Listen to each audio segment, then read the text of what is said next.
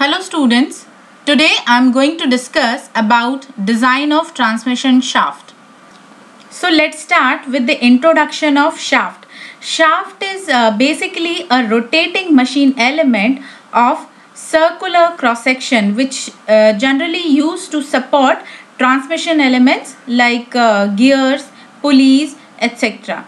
Here you can see in this diagram uh, basically shaft is always have maximum diameter at the middle portion as you can see in this diagram and uh, minimum diameter at both its end. Here minimum diameter at both its end. This is the diagram of uh, transmission shaft. Uh, there are a lot of examples of uh, transmission shaft like axle spindles counter shafts line shafts etc I will discuss about these uh, one by one. Basically, axle is used for supporting rotating elements like uh, wheels, drums, hoist and also fitting to the housing by means of different bearings and it also transmit torque. Uh, the example of axle we can say the example of axle is uh, automobile rear axle. Uh, spindle is uh, basically it is a small rotating shaft with twisted threads and it is generally used in all machine tools uh, like drilling machines or uh, drive shaft of lathe. Counter shaft is generally driven by main shaft and it uh, generally used to transfer the power to different machine element and it is generally used in multi-stage gearbox. Line shaft, uh, uh, line shaft generally consists number of shaft which are connected in axial direction with the help of couplings. But uh, this time the line shaft is obsolete. If we are designing a transmission shaft the most necessary thing which we, we which we have to consider uh, during the design of transmission shaft is the material. Uh, the material which generally used to manufacturing the transmission shaft is based on the application. Uh, for example the ordinary shaft if we are uh, uh, designing ordinary shaft so for manufacturing of ordinary shaft, the material which generally used is medium carbon steel. And where the greater strength is required, uh, the material that is high carbon steel or alloy steel is generally used. Why? Because alloy steel have greater strength, hardness, toughness and higher resistance of corrosion compared to plain carbon steel. If we are considering commercial shaft, then commercial shaft are generally made of low carbon steel. And the processes which generally used to produce the shaft are uh, hot rolling and it is finished by turning, grinding or cold drawing. Turning or grinding is generally preferred over cold drawing. Why? Because the tolerances of diameter and the straightness are closed in turning and grinding process compared to cold drawing. And cold drawing also produce residual stresses at and near the surface of the shaft. Generally most of the transmission shaft are subjected to combined bending and torsional moment so if we are designing any transmission shaft, the thing which we have to determine that necessary thing is the correct shaft diameter. That is correct shaft diameter. And this correct shaft diameter on the basis of strength and rigidity consideration on the basis of strength and rigidity.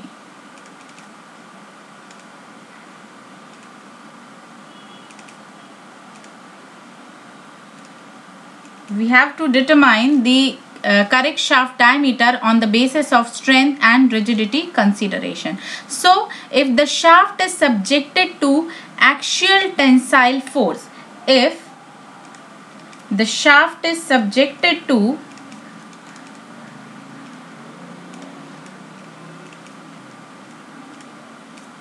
axial tensile force then the tensile stress will be tensile stress. If we are denoting this tensile stress by sigma t then it will be p is the force and divided by pi d to the power of 2 pi 4 this is the tensile stress. Now when the shaft is subjected to bending moment when shaft is subjected to bending moment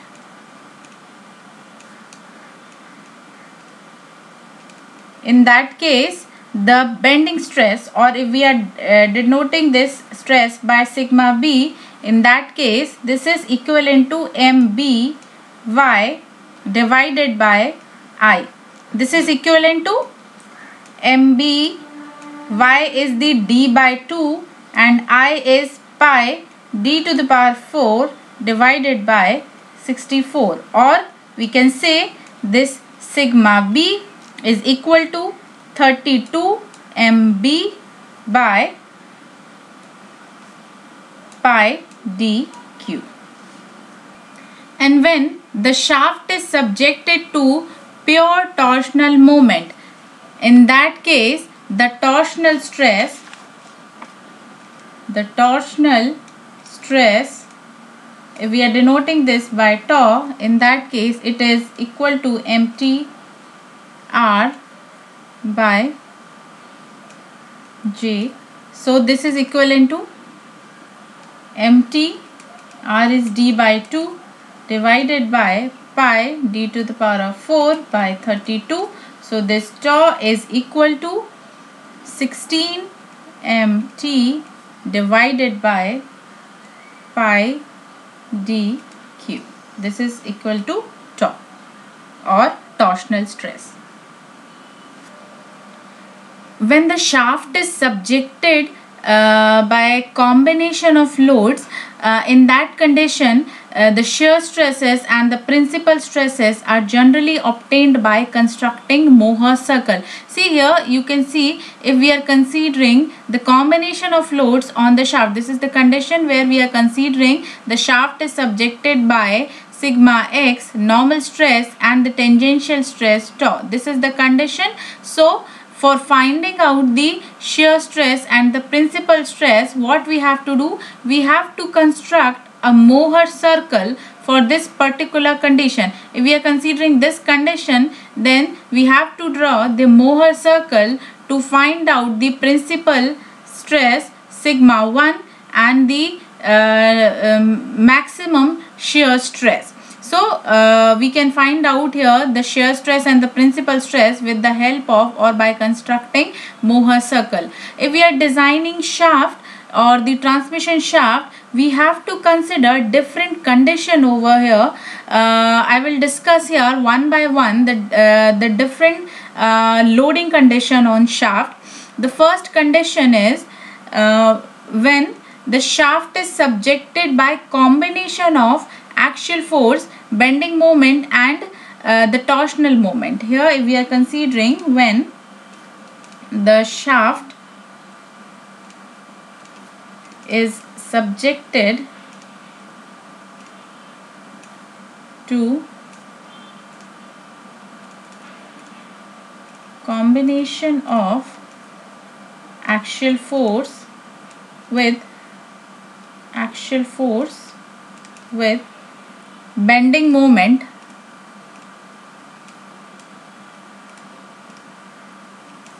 and torsional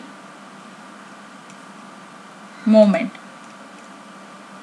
In that condition, the normal stress or the sigma x will be equal to sigma b, the bending stress and the sigma t is torsional stress. So, this is the condition when the shaft is subjected to combination of axial force and uh, bending moment and torsional moment. And the second condition is when the shaft is subjected to bending, when the shaft is subjected to bending and torsional stress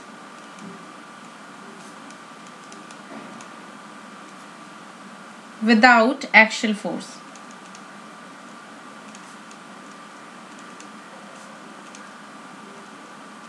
In that condition, sigma x equal to sigma b.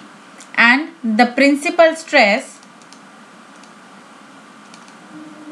the principal stress sigma 1 is equal to sigma x by 2 plus under root of sigma x by 2 whole square plus tau square. This is the principal stress from the Mohr circle and the principal shear stress. Principal shear stress tau max equal to under root of sigma x by 2 whole square plus tau square. This is the principal stress and the principal shear stress. Shaft is generally designed on the basis of maximum principal stress theory and maximum shear stress theory. Uh, we will apply here these theories for designing a transmission shaft which is subjected by bending and torsional moment. Uh, basically the maximum uh, if we are considering uh, the sigma 1 if we are considering here the sigma 1 is the maximum principal stress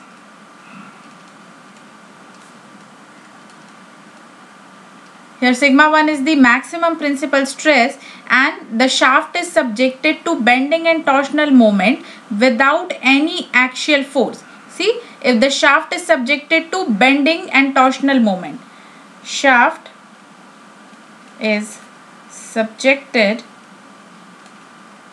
to bending and torsional movement without any axial force.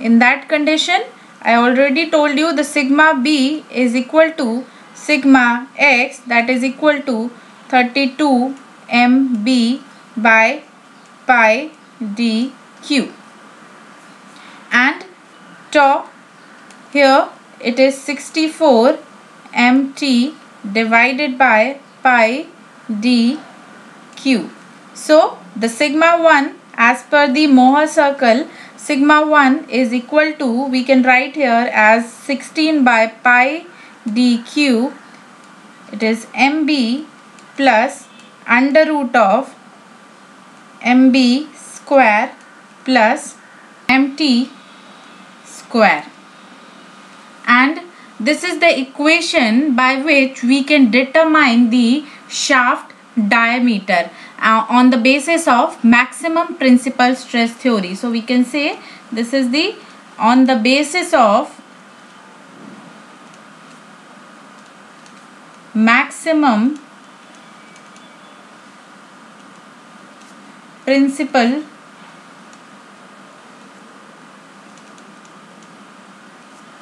stress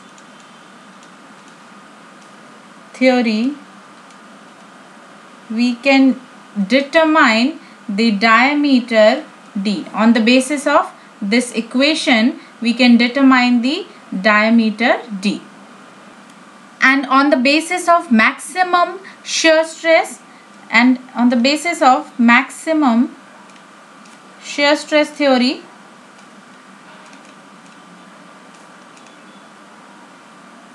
the tau max will be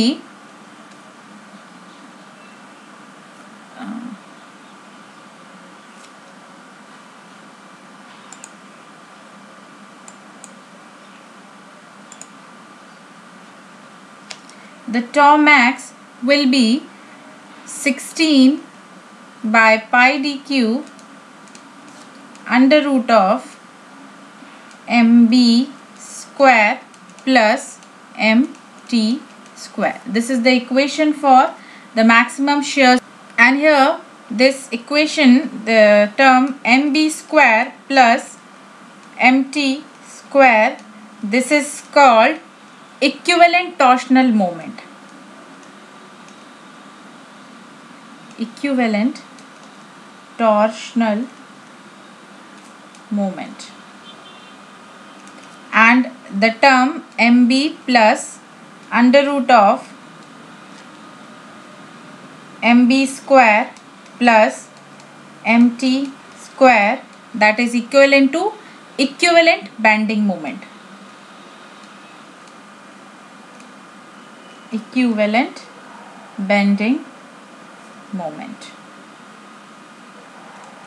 And uh, here uh, generally shaft are generally made up of ductile material. Uh, so maximum shear stress theory is generally applicable for ductile material compared to principal stress theory.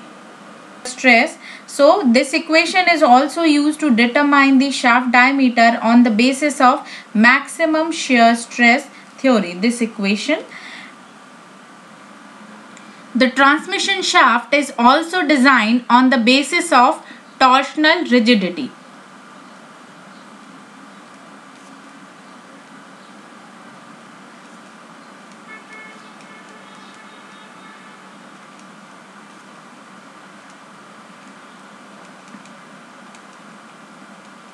See, uh, if the shaft does not twist beyond the limit under the action of external torque or it does not deflect too much under the action of external bending moment uh, that that type of shaft we can say as the rigid shaft. Like uh, for example uh, the spindle for machine tool is generally designed on the basis of this uh, theory the theory of torsional rigidity. And here the angle of twist for this particular condition. the angle of twist for this condition, if we are denoting this as theta, this is equal to 584 mt L divided by g d to the power of 4. Here mt is the torsional moment torsional moment it is Newton Newton mm. L is the length of the shaft. Length of the shaft subjected to twisting moment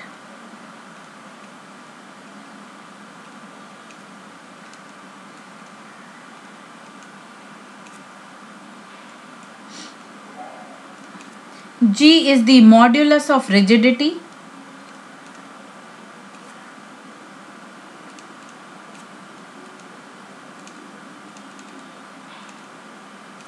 And D is the shaft diameter.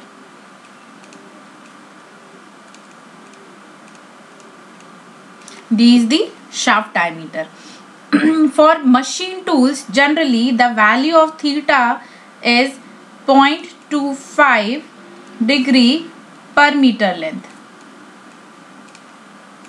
Per meter length is permissible.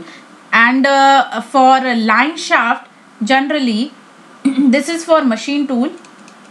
This is for machine tools. And for line shaft the value of theta is 3 degree per meter length. This is for line shaft. And thanks for watching the video and subscribe the channel for more lectures